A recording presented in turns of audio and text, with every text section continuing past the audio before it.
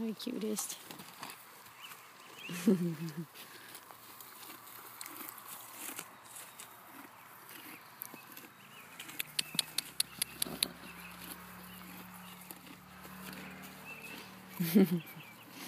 coming to visit?